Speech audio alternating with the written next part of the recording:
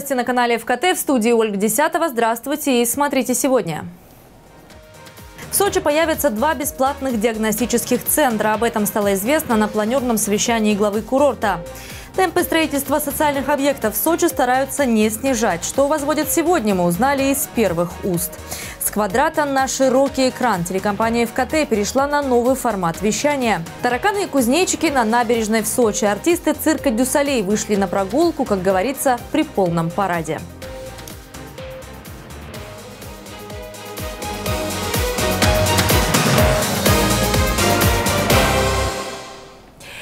Константин Федоренко назначен министром труда и социального развития Кубани. Соответствующее распоряжение сегодня подписал губернатор Вениамин Кондратьев. Для региона Константин Федоренко человек не новый. Начинал работу на различных должностях в администрации Белореченского района. Пять лет работал в Министерстве образования и науки. А с прошлого года исполнял обязанности министра образования края. В 2014 году награжден медалью второй степени за выдающийся вклад в развитие Кубани. Последнее предупреждение губернатор потребовал от сетевых компаний, поставляющих электричество, заняться модернизацией собственной инфраструктуры. Вениамин Кондратьев остался недоволен недавними отключениями, которые накрыли весь регион. У себя он собрал руководителей крупнейших энергоснабжающих предприятий. О чем шел разговор, знают наши краснодарские коллеги. Хорошо, что есть газ, газовая поверхность. Мы можем себе приготовить еду, закипятить воду, если она, конечно, есть. Потому что когда э, вода, отключается электроэнергия, у нас отключается вода, отключается котел, нет тепла. Ужин при свечах в доме Елены Калашниковой устраивают не ради романтики. Это вынужденная необходимость. Постоянные перебои с электричеством в жилом районе Новознаменске в Краснодаре научили семью подстраиваться под обстоятельства.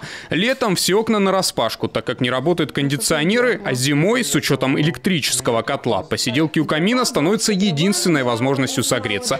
Свет здесь отключают чуть ли не каждый день. Энергетики на все жалобы разводят руками. Не хватает мощности. Дождь, ветер, солнце не имеет значения, отключаются они постоянно у нас. Вот есть еще плановые отключения, которые очень часто почему-то происходят у них плановые мероприятия. Тогда отключают нас на целый день, начиная с 9 утра и заканчивая там 6 часами вечера. Вот это происходит все эти 14 лет. Мы живем без электричества, как на пороховой бочке. Когда оно отключится, когда оно включится, никто не знает. Внятного ответа на этот вопрос не смогли дать и сами энергоснабжающие предприятия. С руководителями крупнейших в крае сетевых компаний сегодня встретился губернатор. Венимин Кондратьев остался недоволен отключением электричества, которые летом прокатились по региону. Больше всего досталось Краснодару. Только в июле здесь произошло 150 отключений. Основная причина – высокие температуры и выросшая нагрузка на сети. Однако для поставщиков электричества оправданием это быть не может. И люди, сегодня жители края, они исправно отчасти, в большей части, я уверен, платят за э, электричество. И они имеют полное право на возмущение, когда они говорят о том, что, слушайте, если мы платим, то почему перебои, почему электрооборудование летит? Если отключается свет, то жизнь останавливается. И люди абсолютно правы, когда они говорят о том, что в целом недоработка, неважно чья, власти, понимая ответственность перед людьми, я буду делать все, чтобы сегодня эту проблему убрать, друзья. Или я будем убирать ее вместе, или я буду убирать ее один. Плыть в непонятном направлении, что дальше делать, ну так не годится. Для сетевых компаний это четкий сигнал. Необходимо вкладываться в модернизацию собственной инфраструктуры. Сейчас электрические сети в регионе изношены на 65%. Самые крупные игроки на этом рынке – Кубань-Энерго и Неско Электросети. Последние в основном и обслуживают жилые дома в 24 районах края. Если вы не вкладываете в собственное развитие, то вы не бизнес, вы так эксплуатанты. Ваша компания, сколько вы уже вложили в, в, в то, что имеете – модернизацию или, в развитие? 17 год. Э, вот в эксплуатацию 89 э, э, мегавольт ампер, это трансформаторные мощности новые, 402 километра линии электропередачи 10 на 04 построена в городах. Но как показала практика отключений, этого недостаточно. Необходимы новые подстанции. Одна из таких уже появилась в Усть-Лабинском районе. Вторую планируют запустить в текущем году в восточной промзоне Краснодара. Энергодефицит влияет не только на простых жителей региона, но и вставляет палки в колеса при развитии экономики. Венимин Кондратьев рассказывает случай жизни, когда Кубань-Энерго выставила промышленному предприятию счет в непосильные 222 миллиона рублей. Компании удалось найти другого поставщика, который выдал необходимые мощности за сумму в 10 раз дешевле. Но не все подобные истории со счастливым концом. А что нам делать с Кущевкой? С Кущевским районом, с Ейском, с Тюлюком, с другими э, районами, где на самом деле инвесторы сегодня готовы заходить, они могут. У нас сегодня 17 инвестпроектов просто полетело. Только потому, потому что мы не смогли обеспечить энергомощности. Вот эти инвестиционные проекты на сумму 16 миллиардов рублей. Это все гадаем, будет у нас возможность подключиться, не будет многие вещи делать за счет инвестора. И сети обновлять за счет инвестора, и подключение делать за счет инвестора, и вести сети за счет инвестора. Друзья, ну так тоже не годится. Почему это должен делать кто-то или за счет кого? Но сегодня нет у нас бедных сетевых компаний. Коллеги, а если это невыгодный бизнес, не занимайтесь им. Я имею в виду коммерческие сетевые компании. И что ждете, когда у вас полностью уже износ сетей произойдет? Мы этого не допустим. Глава региона поручил создать рабочую группу, возглавит которую первый заместитель губернатора. Комиссия в индивидуальном порядке будет помогать с подключением инвестплощадок к энергосетям. Кроме этого, в следующем году планируют запустить две мощных подстанции в Павловском и Крыловском районах, что даст дополнительный толчок для развития экономики Кубани, а местным жителям позволит не тратить деньги на покупку свечей. Александр Иванченко, Мария Крошная, Денис Перец, Алексей Комаров, Денис Москаленко, Кубань-24, Краснодар. Курортный сезон в Сочи в самом разгаре, и вся система жизнеобеспечения города должна функционировать без сбоев. А вот сбои в организме сочинцам помогут диагностировать два новых бесплатных медцентра. Все это сегодня обсудили на планерном совещании главы Сочи. Подробнее Елена Овсецина. Отдыхающих много – это как раз тот результат, который курорту нужен. Туристы довольны, да и регулярные пробы морской воды только радуют. Они соответствуют всем нормам. Мы были на другом побережье Черного моря. Там грязно. В Сочи это просто нечто. Море очень чистое. Камни видны, ну то есть чисто прозрачное море. Мы в восторге. Вот мы действительно в восторге. Очень чистое море, теплое, прекрасно. Все, мы ходим и наслаждаемся мы просто счастливы, что мы сюда попали. В Сочи лучшее море в России. Но когда все в норме и курорт процветает, не обходится, как говорится, без ложки дегтя. Участились жалобы отдыхающих на то, что в процессе подъезда к городу Сочи посредством э, электрички или ЖД-транспорта а, значит, э, им навязывают услуги экскурсий, и причем очень э, активно навязывают. Экскурсионная фирма, которая уже взята на карандаш, не только ведет навязчивый бизнес. Их автобусы останавливаются в ожидании туристов там, где захотят. Чаще всего в районе ЖД вокзала УЦУМа, хотя по закону они должны парковаться в специально отведенном месте, к примеру, на Северном Малу. В итоге туристы вытаптывают муниципальные газоны. Более того, экскурсионные автобусы становятся в два ряда на Новогинской, препятствуют парковке общественного транспорта.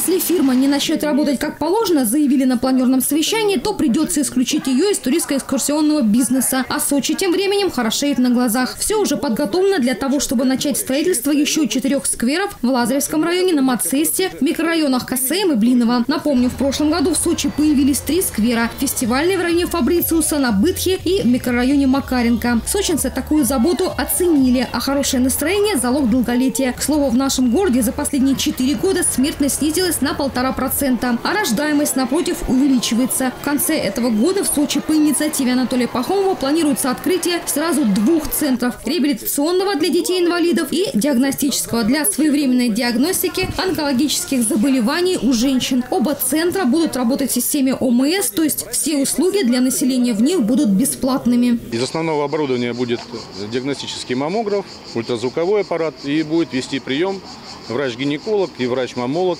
Кроме этого, с пациентками будет работать психолог. Предполагается, что в такой центр женщины пойдут гораздо с большей охотой, чем в онкологический диспансер. Активное развитие Лазаревского района также в ближайших планах администрации. Сейчас там отрабатываются инвестиционные предложения по развитию территории. Мы обязаны просто-напросто э, по каждому маленькому поселку приморскому э, будь то Дагомыс, будь то Лао, будь то Вардане, будь то там, я не знаю, Головинка, мы должны иметь инвестиционные предложения, мы должны сами стратегически промыслить, что нужно для того, чтобы круглый год работала эта территория. Понятно это? И чтобы подготовить эти инвестиционные предложения и, используя инвестиционный форум, под, подтянуть сюда инвесторов. Это, возможно, будут инвесторы местные. Инвестиционный форум в Сочи в этом году пройдет с 14 по 15 февраля. Плотно готовиться к нему власти начнут сразу после окончания активного курортного сезона. Елена Овсецина, Алексей Давыдов, телекомпания «ФКТ». За последние 10 лет в Сочи построили 8 новых школьных корпусов и 22 детских сада, включая пристройки к уже существующим учреждениям дошкольного образования. Темпы строительства важных социальных объектов на курорте стараются не снижать. Об этом в интервью нашему телеканалу рассказал заместитель директора департамента строительства администрации города Сочи Павел Терехов. В прошлом 2017 году Департаментом строительства и администрации города Сочи было реализовано три крупных инфраструктурных проекта в сфере образования. Мы сдали школу в Верхней Беранде вместе с детским садом, детский сад большой в Лао. К Новому году детям подарили вот такую же первую пилотную пристройку на 400 мест э, к сотой школе. В настоящий момент ведется, заканчивается уже строительство, и мы должны к 1 сентябрю сдать большую школу в Совет Кваджи в поселке. Это была старая аварийная школа, теперь там прекрасное здание огромное вместе с детским садом на 50 мест, которое будет сдано, повторюсь, к 1 сентябрю этого года. Мы на следующий год планируем большую школу начать строить в Эмеретинке, более чем на тысячу мест, вместе с детским садом и с плавательным бассейном. С повестки дня также не снимается строительство школы на Мамайке, которую очень долго ждут наши жители.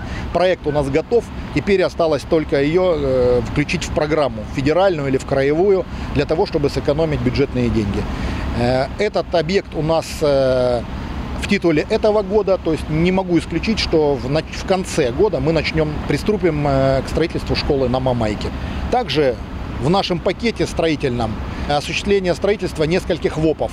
Вот только недавно глава города открывал офис врача общей практики на Краево-Армянском. Также мы сейчас в селе Измайловка приступили к строительству. Вот залили уже фундамент. Я думаю, что мы до конца года обязательно этот ВОП сдадим.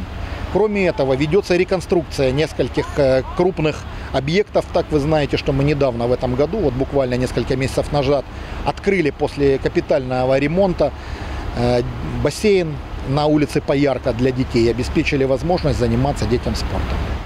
И продолжаем выпуск. С квадрата на широкий экран телекомпания ФКТ перешла на новый формат вещания.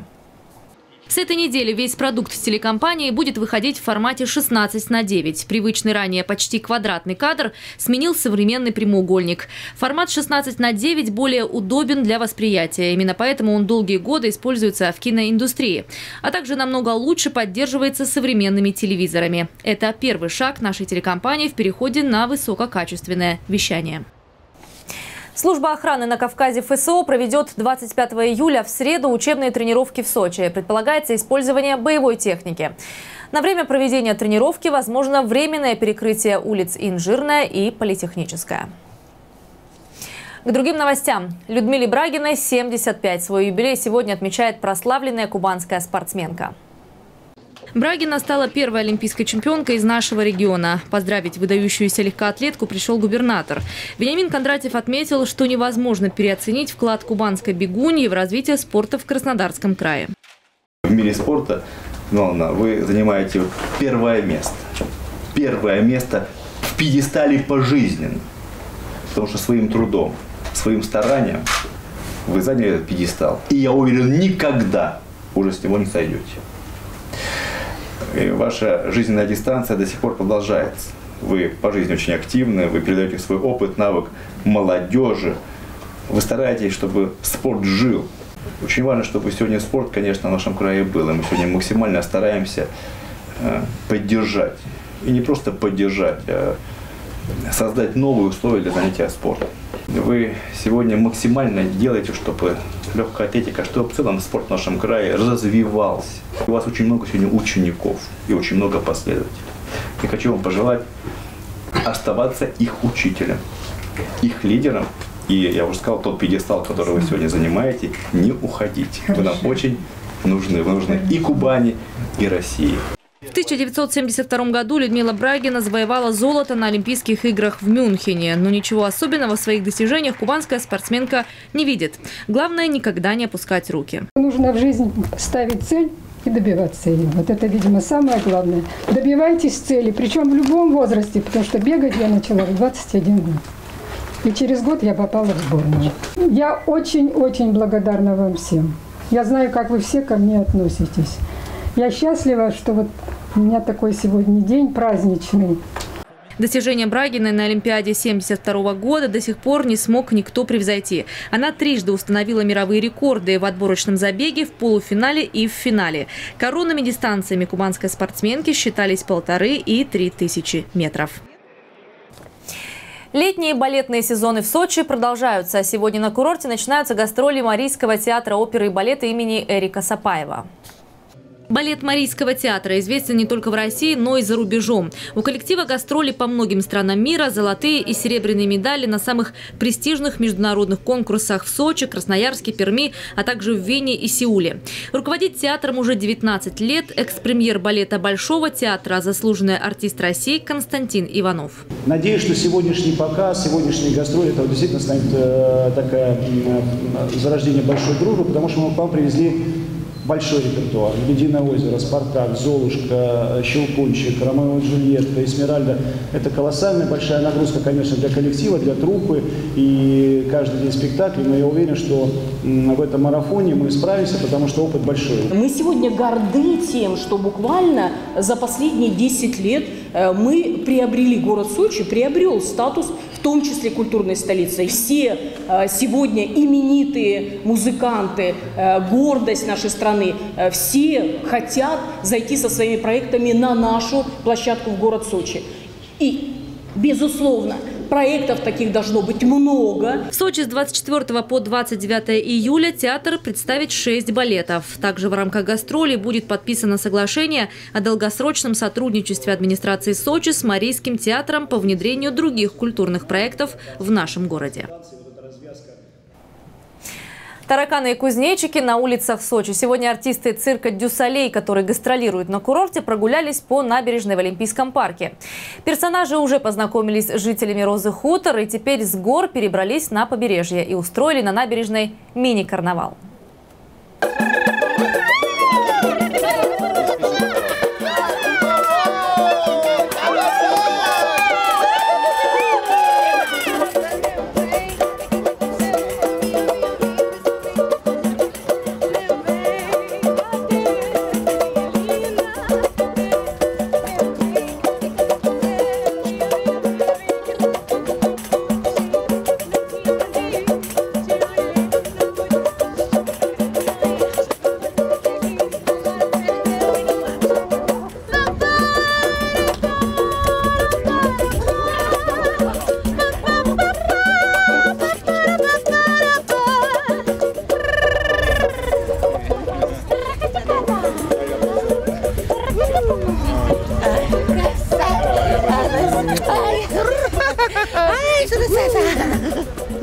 Набережную Олимпийского парка вышла целая колония насекомых – сверчки, тараканы, божьи коровки и мухи.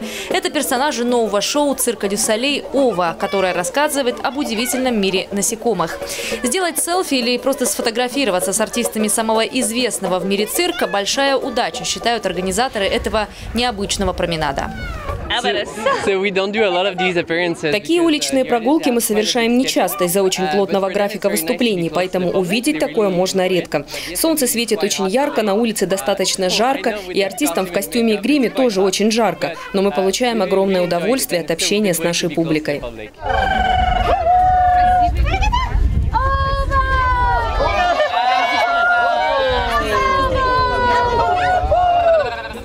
Уже выступил в пяти городах нашей страны. Сочи стал последней точкой в гастрольном графике цирка Дюсалей в России. С Черноморского побережья артисты отправятся в Великобританию, Португалию, Бразилию и Францию.